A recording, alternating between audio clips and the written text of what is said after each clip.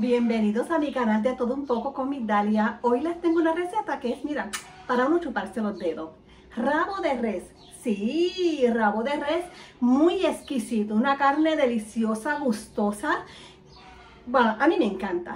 Pero yo la voy a mezclar con carne de guisal de huesito. Así que es lo mismo de carne de res, los dos son de res. Pero la voy a mezclar y ya ustedes verán cómo va a quedar esto. Así que sígueme por esta aquí. Esta es mi cocina y bienvenidos a mi cocina de todo un poco con Migdalia. Ya la tengo aquí en la olla de presión, pero primeramente voy a sellar la carne para ver si este suelta un poco de la grasa para eliminarla. Y voy a sellar la carne un poco.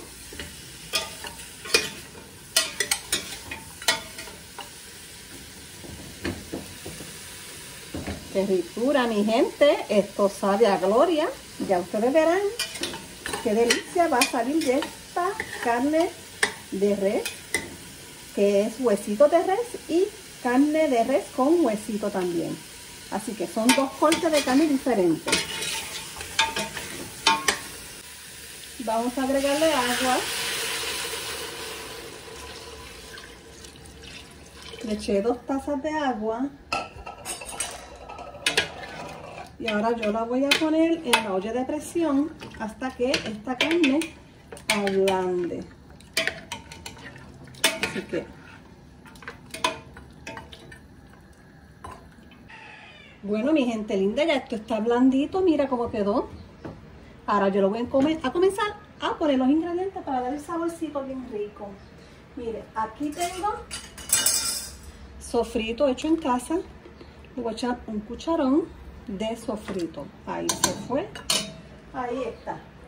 Un cucharón de ajo molido. Un cucharón no. Ay, ¿qué es esto? Una cucharadita. ¿Qué me pasa? Es el hambre que tengo. Tengo hambre, ya se llama eso. Déjame pegarlo ahí. Un cubito de sabor a res. Ahí se lo agregué también. Cúrcuma. Vamos a darle cúrcuma a esto un poco. Y la cúrcuma va acompañada siempre con pimienta. Así que para la inflamación del cuerpo. Aunque la carne roja no es muy buena para los huesos, ¿verdad? Para el humano, pero hay que hacer una excepción de vez en cuando. Sazón con color. Ahí está, se fue completito. Le voy a agregar ahora media zanahoria picadita en trocitos.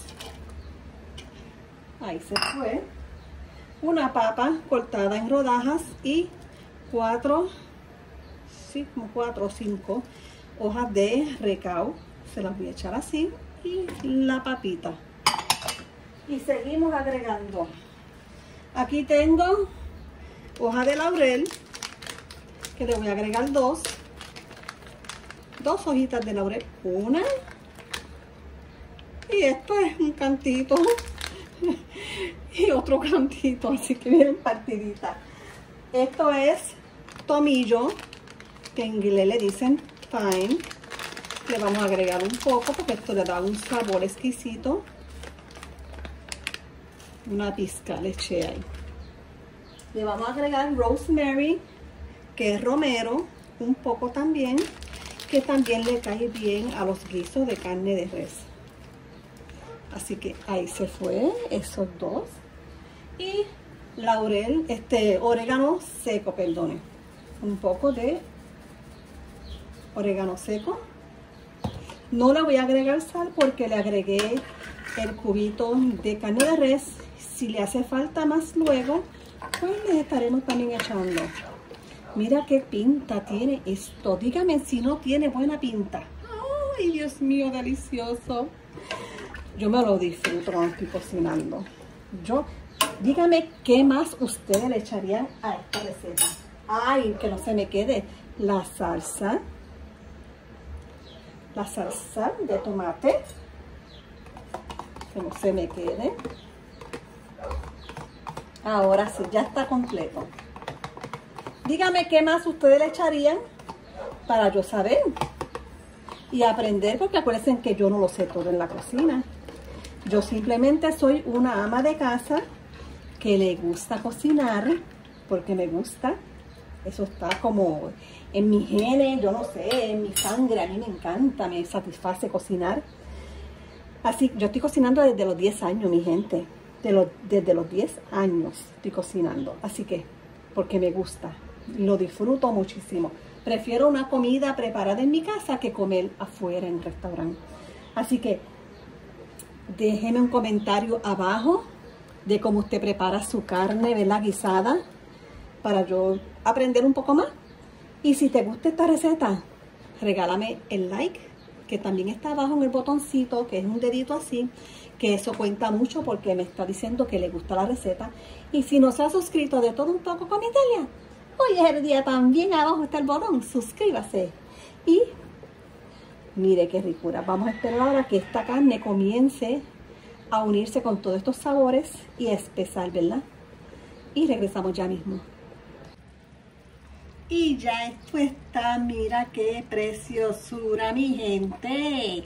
Esto va para el plato ahora, pero inmediatamente con arroz blanco con tocino que preparé. Así que sígueme por aquí ahora. ¡Ay, mira cómo quedó esto! Yo sé, mi gente, no me lo critiquen, que lo que me faltó fue el aguacate. Pero salí a comprar y estaban verde, verde, así yo no pude. Así que una rajita de aguacate ay, esto no tiene nombre, pero si tú lo tienes, ven y tráeme uno, corre, que me lo voy a comer ahora.